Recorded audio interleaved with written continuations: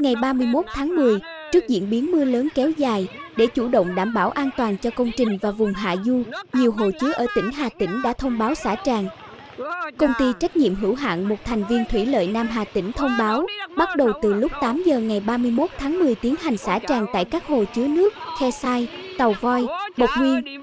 Công ty đã đề nghị cơ quan chức năng liên quan các vùng bị ảnh hưởng thông báo cho người dân biết để chủ động phòng chống.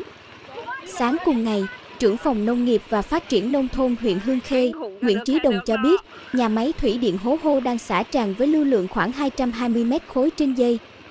Theo phòng nông nghiệp và phát triển nông thôn huyện Hương Khê, đến nay, trên địa bàn huyện đã có hai người chết, một người mất tích, hơn 3.900 hộ bị nước ngập vào vườn, vào nhà. Nhiều trường học, hội quán thôn, bưu điện cũng bị ngập nước. Hồ đập tắc ở xã Hòa Hải bị vỡ thân đập. Nhiều bờ sông, tràn xả lũ, đường giao thông bị ngập và sạt lở gây chia cắt. Toàn huyện có hơn 22.500 học sinh các cấp phải nghỉ học do ảnh hưởng mưa lũ.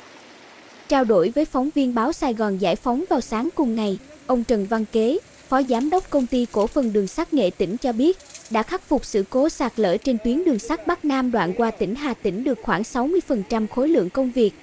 Tuy nhiên, hiện tại trời đang mưa liên tục nên ảnh hưởng đến tiến độ,